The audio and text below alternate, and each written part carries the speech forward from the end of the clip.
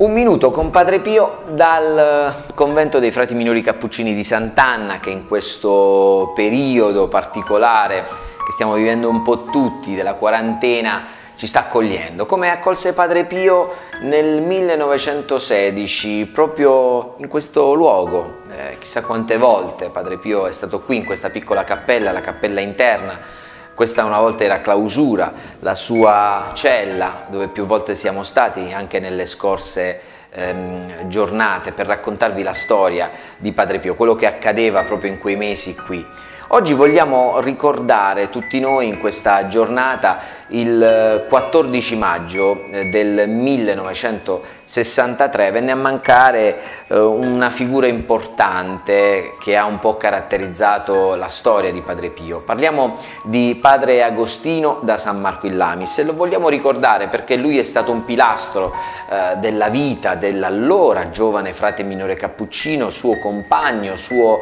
compagno di, di, di vita, il suo direttore spirituale. Ecco, eh, padre Agostino eh, morì nel convento dei frati minori cappuccini di San Giovanni Rotondo, eh, studiò teologia a San Miniato in Toscana dal 1900 al 1904 e venne ordinato sacerdote il 15 marzo del 1903 eh, più volte superiore in vari conventi, per 24 anni fu eh, consigliere provinciale, per 9 eh, fu ministro provinciale, per 4 volte prese parte come delegato al capitolo generale dell'ordine dei frati minori eh, cappuccini. Dal mese di dicembre del 1944 al mese di giugno del 1952 eh, padre Agostino fu superiore del convento di San Giovanni Rotondo dove poi dimorò dal 1959 fino alla sua morte. Fu il direttore di Padre Pio da Pietrelcina,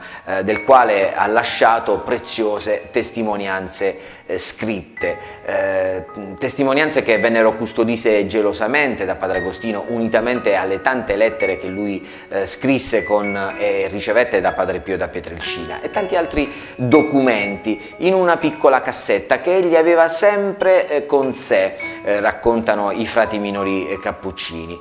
furono trovati dopo la sua morte nella sua cella a San Giovanni Rotondo.